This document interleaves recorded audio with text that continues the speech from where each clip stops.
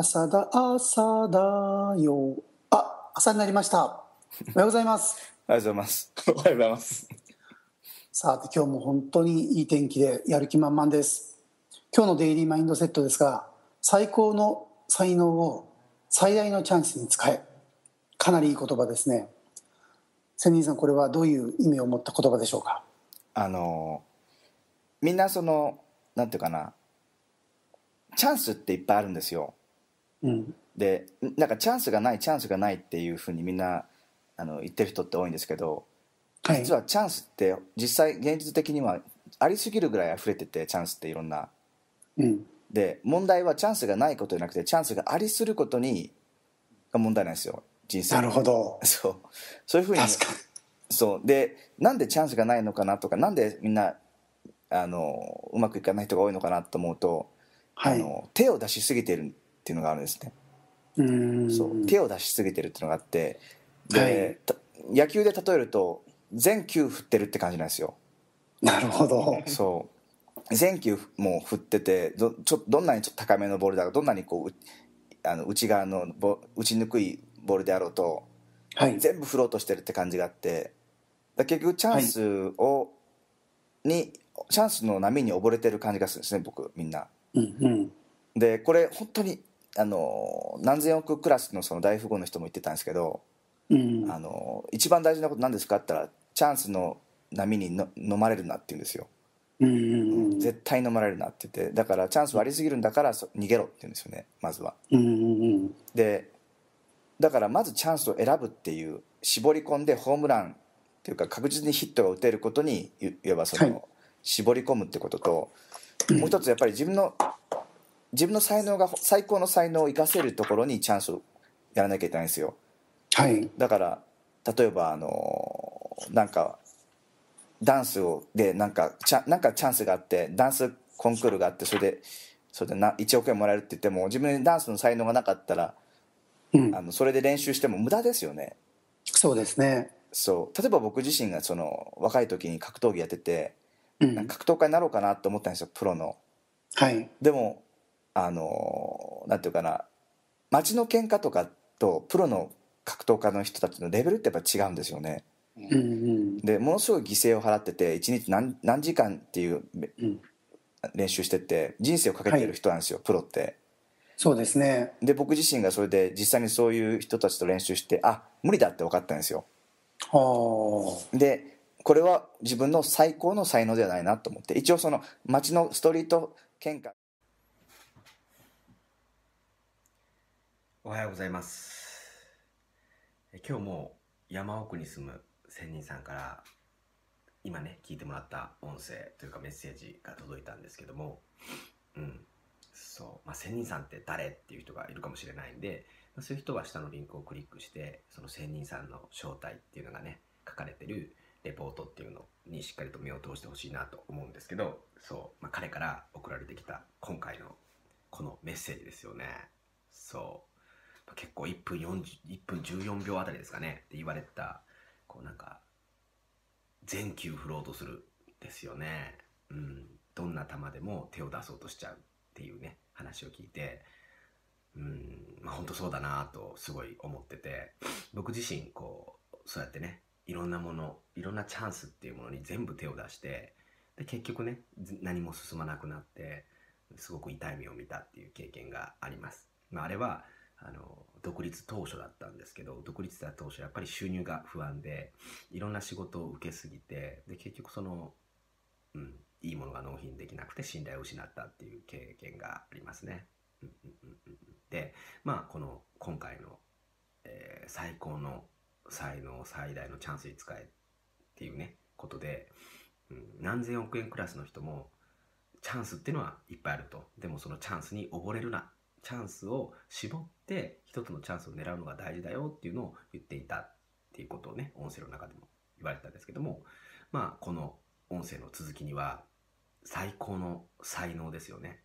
そう、まあ、チャンスを絞るのが大事なのが分かったと。じゃあその自分の最高の才能を最大のチャンスに使えっていうことだったらその最高の才能を見極めるにはどうしたらいいかっていうようなねそんな話がありました。そう。最高の才能を見極める3つのポイントだったり間違ったチャンスの選び方の神崎さんが実際に自分が経験したことのシェアだったりあと仙人さん流その最高のチャンスをどうやって最高のチャンスと見極めるのかっていう判断基準選択基準だったりかなり興味深い内容が目白押しなんですよね。そう、まあ、特にね神崎さんがチャンスだと思っていろんなものに飛びついて収入が減ってしまったっていう事例は勉強になりますね。うん。そう。やっぱ人ってなんだろう成功事例からも学ぶんですけどそれ以上にこう失敗事例からっていうのはよく学べるんだと思うんですよね。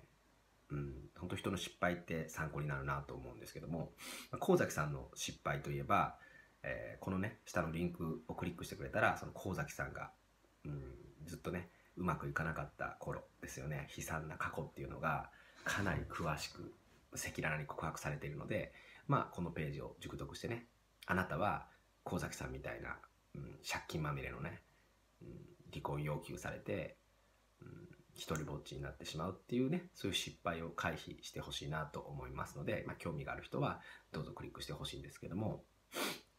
で多くの人がチャンスがないとか自分にはチャンスが来ないってよく言ってるんですけどもでも仙人さんとか平さんとかそのね何千億クラスの人っていうのはチャンスがありすぎるからチャンスの波に溺れるなっていうような話をするわけですよね。じゃあこれ何が違うのかなっていう話なんですよね。平さんなんてチャンスは一本おきにやってくるっていう本を書いてるくらいですからね。よっぽどこうチャンスを引き寄せてるんだと思うんですけども、そう、このチャンスがありすぎると思ってる、チャンスありすぎるぐらい発見できる人と、チャンスがないとこう嘆いてる人ですよね。その違いっていうのは一体どこから来るのかっていうのを考えてみるとこの違いを生み出すのがマインドセットだと思うんですよね。でマインドセットっていうと何ですかっていうと一言で言うと考え方なんです考え方億万長者には億万長者らしい億万長者の考え方パチンコ依存症の生活保護受給者にはパチンコ依存症の生活保護受給者の考え方。年収300万円の会社員には年収300万円の会社員の考え方。っていう具合にね。それぞれこう別に、うん、別の考え方をしてるんですよね。そう例えば、えー、僕がね話をしたことある、まあ、その人は生活保護を受給しながらね。で、まあ、子供を何人も、抱えてて。でまあパチンコ行ったり、うん、してるそういう風な感じの人なんですけど、まあ、その人の話を聞いているとですねお金を手に入れるためには子供を産むと。うん。そう。まあ、この時点でもう僕の中ではハテナだったわけですけども、そう子供を産むのはお金のためっていう考え方なんですよねでクレジットカードでとにかく現金を引き出していく、うん、借金は自分のお金だと思っているんですねで働いたら自分の収入が減るんでなんか仕事はなんかよっぽど楽な仕事を選ばないといけないみたいな感じだとかでギャンブルの負けはギャンブルで取り返さないといけないとか。でとにかく文句を言ってごねごねることがお金になるみたいなね。本当にこれを真剣に思ってるんですよね彼らは。ちょっとかなり驚きだったんですけども実際にそう考えてる人はいっぱいいます。あいやいやそんな人いないでしょうって感じてるならまあ安心なんですけども。えそれ普通じゃないの？って思った人はかなりね注意をしてほしいなと思うんです。そういう人はいつまでたってもお金が増えない無限ループにはまってる可能性が高いです。で他にも、まあ、僕たちがねついついハマってしまう貧乏マインド貧乏になってしまう考え方っていうのは、まあ、とりあえず適当に働いて生活できればいいやとか、うん、一生懸命働くっていうのはこう暑苦しいしかっこ悪いとかまあ俺はいつか成功できるから大丈夫みたいなね考え方があります。そう、まあ、このね今言った3つの考え方というのは僕がうまくいかなかった頃に、まあ、なんかこう考えてたことなんですよね。そう。今では、うん、やっぱりそういう人を見るとあのもう意味がわからないというか理解ができないなって思うんですけどまあでも僕もそういう頃があってそういう頃はうまくいかなかったんです。で、まあ、どんな考え方がその貧乏になる考え方なのかっていうのはこうねしっかりと以下のレポートを読み込んで発見してほしいなと思うんですよね。うん。そう。まあねこんな偉そうなこと言ってるんですけども本当僕自身はこのレポートと出会うまでかなりのセミナーオタクで、うんまあ、神崎さん本当に共感できるんですよね。すごく似てました。でもこのレポートに出会ってそう資産構築にパッションを持つ人が集まる秘密のオンラインファミリーオフィスに出会って、まあ、貯金ができるようになって自分の才能が活かせる仕事に転職できました。で、まあ、ファミリーオフィスって何ですかという人がいると思うんですけど簡単に言うと、うん、資産を管理したり運用したり家族を守ってくれるそんな専用機関なんですね、うん。まあ、今回は仙人さんという謎の人物が世界初じゃないんですかね。このオンライン型のファミリーオフィスっていうのを創設しました。で私はすでに1年と9ヶ月前からそのファミリーオフィスに参加してて、まあ、最新のお金の情報にアクセスしてるんですけども、まあ、その結果今では独立して、まあ、自宅で生計を立てられるくらいの収入を得ることができるようになってます。今は、まあ、大体月40万円くらい稼いでるんですけども、まあ、残念ながら自宅で仕事し始めて日が浅いので証拠がないんですよね。来年の確定申告でも出たらその確定申告を証拠に出したいと思います。そう。ってことでもしあなたが自分のね才能を生かして最大のチャンスをつかんで自由なライフスタイルを手に入れたいなら、まあ、以下のリンクをクリックして秘密のね、えーオンラインファミリーオフィスの詳細を確認しておいてくださいということで